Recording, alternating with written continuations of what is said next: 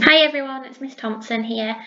Now Thursday is World Book Day and what I would like to know is if you could share a story with anybody, who would you most like to share a story with? On the sheet of paper that I've attached and will put on tapestry for you, I would like to draw you to draw a picture of you and the person who you'd like to share your story with. What book would you share with them?